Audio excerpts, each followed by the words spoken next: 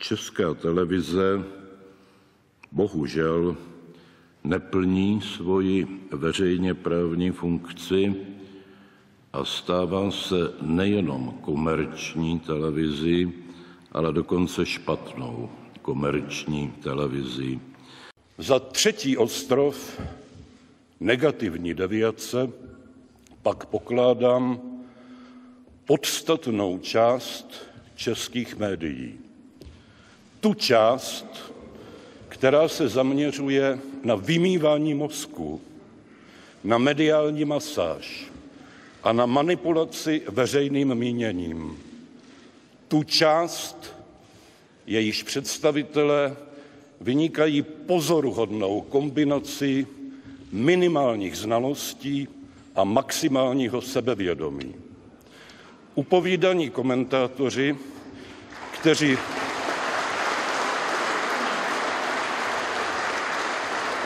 Народний депутат Рудковський. Сядьте, ви ж за вибори президентські виступаєте. Так давайте зараз підтримаємо, проголосуємо. Шановні колеги, прошу підтримати включення до порядку денного та розгляд питання 4835. Прошу голосувати.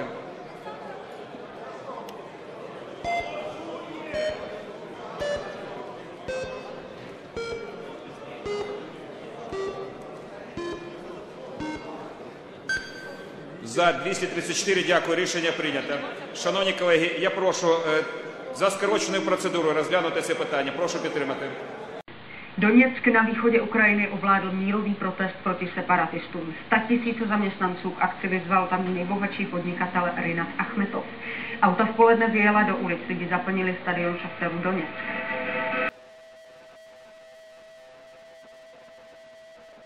Tisíce zaměstnanců k akci vyzval tam nejbohatší podnikatel Rinat Achmetov. Auta v poledne vyjela do ulic, lidi zaplnili stadion Šachtaru Doněck.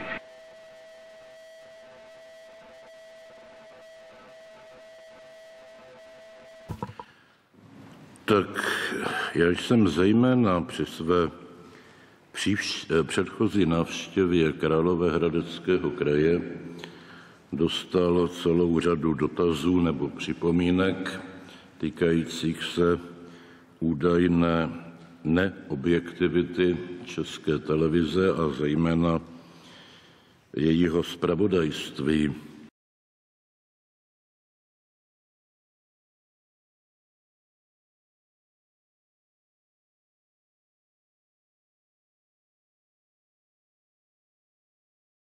После чего в магазине, сняв белье, при всех, при детях, при всех, кто в магазине, большой супермаркет в Москве, девушка, сейчас буду очень деликатно говорить, вот они эти кадры, сняв белье, пытается засунуть цыпленка в интимное место, в то самое место, откуда появляются на свет дети. Через несколько дней эти киски никто не наказал. Приходят в зоологический музей, и занимаются групповым сексом абсолютно голые, три девушки, три парня, причем одна из них на девятом месяце беременности. Великий пост, который является для православных христиан особым временем, когда проявляется все как гадкое и безнравственное. Богородица, спаси нас. И... Velice vás obdivuju. Držte se. I Rusko získá svou důstojnost i svobodu. Všichni na vás myslíme. Jsou krásní holky, mají smysl pro humor a mají kuráž. Milujete punk rock? To je mi všechno jedno.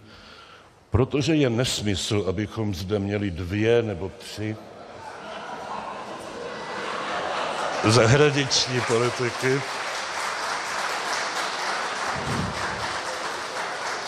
Neexistuje speciální zahraniční politika prezidenta, speciální zahraniční politika vlády, a už vůbec ne speciální politika ministra zahraničí.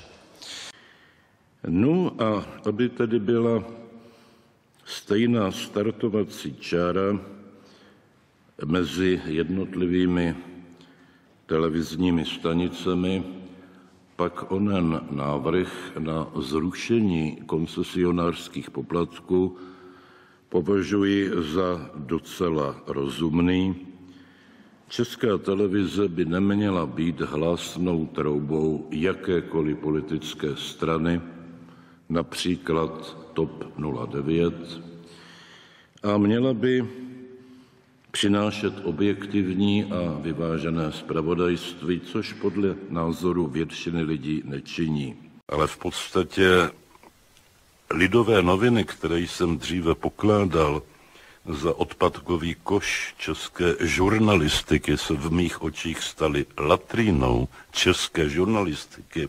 Není člověk, který by byl více atakován českými médii, než jsem já, a mohu si za to sám, protože v jednom parlamentním projevu jsem označil novináře za pitomce, dokonce, a uznávám, že to byla hyperbola, jsem řekl, že po vyhynutí blbouna nejapného je nejpitomnějším tvorem na země kouli český novinář.